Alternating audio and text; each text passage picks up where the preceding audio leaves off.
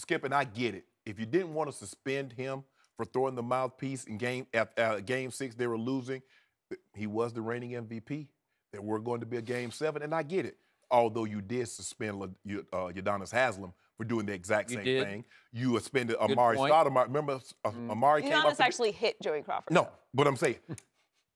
Well, that's okay. But Uh, let me I'm, I'm good with that. I'm fine with it. Whatever Udonis does, I'm No, no. fine with. Skip, and you remember against your San Antonio Spurs, they suspended Amar'e Stoudemire for Game Seven for coming off the bench in Game Okay. Six. Okay. So- that has to do with what? So this is his second offense. All right. This is a meaningless game in October. This is an opportunity for you to say, okay, Steph, go sit this one down. Don't let this happen again. Mm.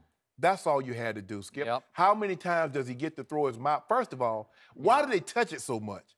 You put the mouthpiece in your mouth. You shake a guy's hand. You slap a guy on the butt. You pat a guy on the head. And then you stick it and put it back in your mouth. They do that all the time. In I know. That's, that, no, they don't. I don't touch it. I it falls on the ground. that's why I ain't wear no mouthpiece. That's nasty. But I'm saying Well, I this. mean, Steph's got an obsession with his because he's always like Chewing chewing on it, yeah. Yeah. shooting free throws. And you excuse talk about they do it all Udonis the chews mouthpiece too. oh, there you go. Joy. Don't. Hey, better watch it. Udonis a real one. Don't get involved with you. And, and that's and that's the thing. He shouldn't have been suspended, but this is a second offense, Skip. And you're talking mm-hmm. about he wasn't trying to hit the ref. That's not the issue. The issue is that you threw it for a second time. So how many times does he get to throw his mouthpiece? Let me ask you a question, Skip. If that was Boogie Cousins, tell me what would have happened. Oh, Lord have mercy. he, he might be gone for a while. Exactly. And that's my point. Skip, this is a perfect opportunity for you to say, Steph, stop this now. This is enough. I get it. You're frustrated. I, they were losing, and I get the frustration. One and two, nobody thought they'd be one and two at this point in time, Mm.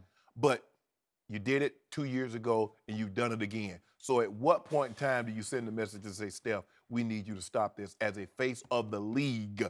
I get Mm. it, he's an MVP, but he he's doing something that's unacceptable. So he fifty thousand dollars to a guy that's making forty million. Mm. I cannot tell you. I, I agree with every point you just made times a hundred. Because when I heard that Steph was not suspended just for a game, just just to make the statement, just Right. to send the message, this will not be tolerated. Right.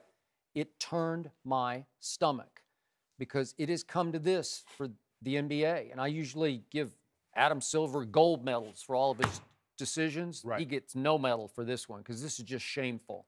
This is catering to the two time MVP, a marquee star on a team that was the most prohibitively favored before the season started in the history of the NBA to win it all. Correct. So you are protecting your product here.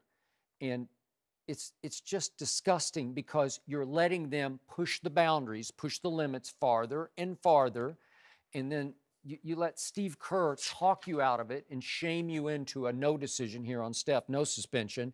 Because right after the game, Steve Kerr, everybody respects the heck out of Steve they Kerr. love Steve. Oh, do they?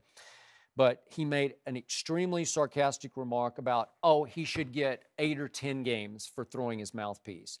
And he went on to say, it was egregious, it was awful, it endangered people in the stands, blah, blah, blah. He was just laying it on thick. Right. And, and I guess Kiki VanDeWeghe in the league office and Commissioner Silver sat back and said, yeah, he's really got a point. It wasn't that big a deal.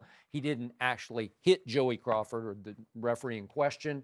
I'm not a big Joey Crawford fan either. You're a Udonis fan, but I'm, you know, that was okay. You had you was out on Joey ever since he Every- uh, you got ever since right. he threw Tim out of the game for Guess last. what happened to him? He got tossed for that, did, right? For a while. But in this case, you can't let Steph Curry uh, even throw in the direction of the official. It's in the direction. Maybe he didn't aim at him, but he kind of threw it at his feet. Well, he's not he's not Clayton Kershaw.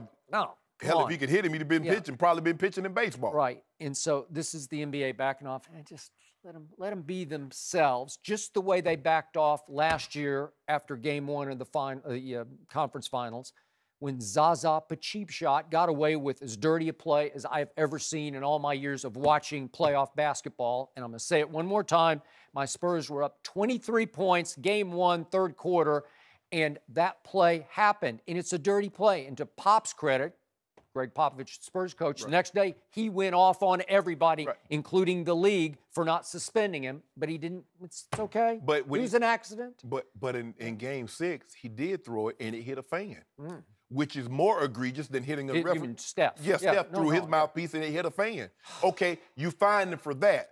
You should have told him, Steph, any more throwing of the mouthpiece, mouthpiece will result in a suspension. Mm-hmm. Yep. So clearly you didn't say that, or clearly he didn't get the message, which in either case is unacceptable. I get Steph is a two-time MVP. I get it, he's one of the faces of the NBA. But but Skip, you can't let stuff like this go, especially when it's more than once. Thanks for watching. Subscribe here to get the latest from the show. Be sure to check out more of the best clips from Undisputed, or go watch a few segments from the newest show on FS1, First Things First, with Chris Carter and Nick Wright.